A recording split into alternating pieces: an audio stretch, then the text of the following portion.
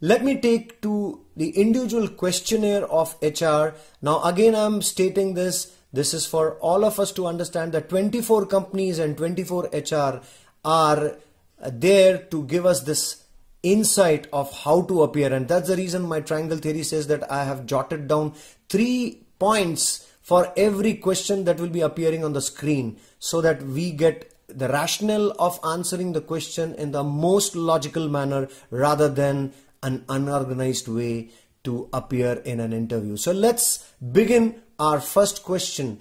Invariably, the first question that lands up is introduce yourself. And by the way, many a time we say that the name has been uttered by uh, the HR or not, but invariably if it is uttered, you don't need to repeat. Don't need to repeat anything that is in the resume, but in case if the HR call you by your name, then I think you should be ready uh, by not repeating and uh, sit there consciously uh, know what is happening and as soon as your name is called so do not repeat that. And what you can definitely showcase is not repeating your resume. You can first talk about your educational qualification after your name. Let's say your name is not called by the HR so take your name. So this is Maneesh Nair. You can always quote your name like this right? Instead of saying me myself or I this is the best way this is Maneesh Nair Okay, now educational qualification, do not repeat exactly or exact verbatim from your resume. You can say that you have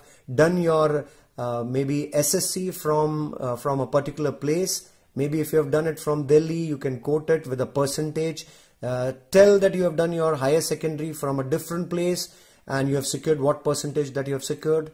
And the third thing that you can say is that graduation you are doing in Nagpur or maybe some other places.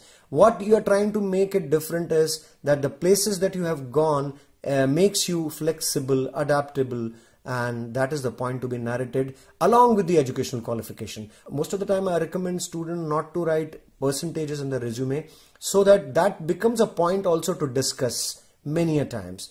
The second thing that you should be talking is your exposure to your domain. Many a time if you're a science commerce arts engineering or even a doctor and you're applying for a job always quote your experience with your learning.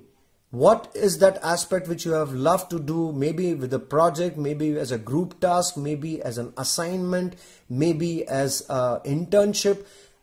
Talk about that domain and similarly as soon as you talk about your domain correlate with your career objective and you can always say sir having worked under this domain i have got great experience and a rich experience makes me to sit in front of you to appear for a growing company like yours where i can immediately start my career.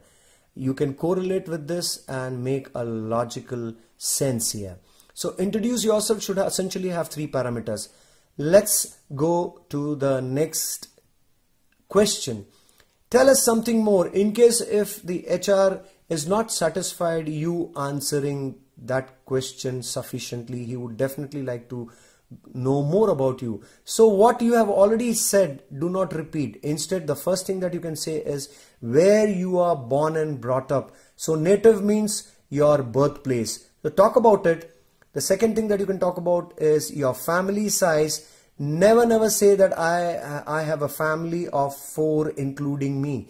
Rather, you can always say we have a, we are a family size of four member. My father works with uh, forest department. My mother is a housewife.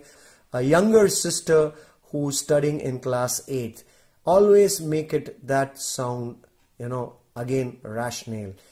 Talk about an hobby. The third point, you can always say that I am a great, great fan of indoor games or an outdoor game whichever is your liking but correlate to the skill sets. So why i like playing cricket or football is because i have a great liking and i learn how to uh, be disciplined first and second uh, be a team player.